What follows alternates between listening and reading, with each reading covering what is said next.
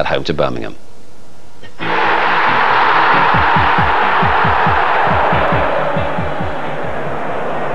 Paul Devlin is wide for Birmingham. Harte is rather standing off him, and then he rather dived in, and Devlin looked towards referee Phil Dowd, who gave it no more than a cursory glance. Devlin looked to have a case there. Played in towards Eirik Bakke. And a corner. Feel they should have had a penalty at the other end. chasing a third straight Premiership win, Messrs Venables and Kidd. Harte's corner didn't beat the first defender. It's come out though to Kelly. Hit deep towards Viduka, and that's Bakke! And Leeds are in front. And what an unlikely scorer. Eirik Bakke didn't find the net once in the Premiership here in 2002.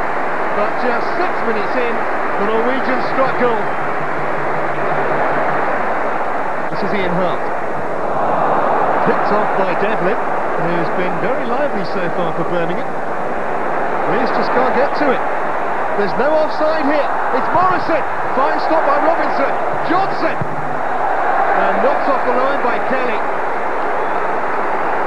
Excellent goalkeeping by Robinson, but the follow-up lacked conviction. Kenna. In towards Morrison with Wills there with him. Now. Are they going to get a penalty this time? No, says the referee. There looked to be the hint of a shove first of all, and then maybe a trip. It was almost two shouts in one. This is Bakke. In towards Kelly. Got a bit lucky there. He's got so much time. Well, that's clever. And that's Viduka, and that should seal it. The Australians' first goal for nearly eight weeks. Well, Leeds were top of the Premiership 12 months ago. They're way off that. But they are on the up.